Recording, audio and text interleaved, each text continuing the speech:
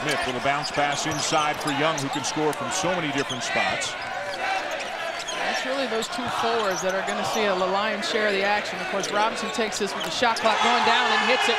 An improved piece of his game, shooting about 39% from beyond the arc. This wasn't a piece of his game in his first three seasons, but this year he's been knocking them down from out there. Has to step out to get it. Back to Jones, 4-3.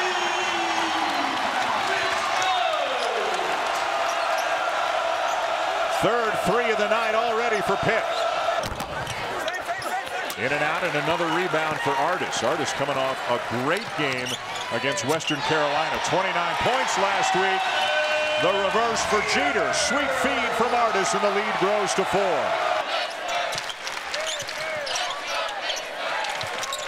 Jeter. Artis. Nobody near as he puts it back in. Well, you see the substitutions at the table and Roberson and Coleman, and it's an issue. They cannot keep Pittsburgh off the offensive glass right now. I think what Mike Hopkins is mad about is you don't want to miss moments in early offense against Pitt where you're locked down against their defense. Young with a finish. Artis with another assist, his fourth. Jeter's now in for Maia. Good look in the corner, around and out and back in for Chris Jones. Young to Smith, shot clock down into single digits. Robinson bounce pass, good position for Young.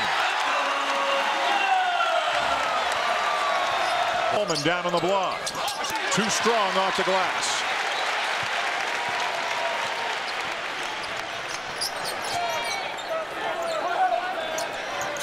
Artis got it.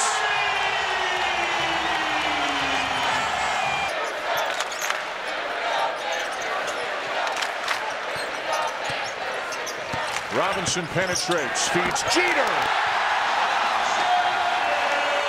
that's it right there. Nice penetration off the reversal when the zone is trying to recover. And once again, it's James Robinson four-year starter as a point guard for Jamie Dixon, making the correct play at a critical time. Play on.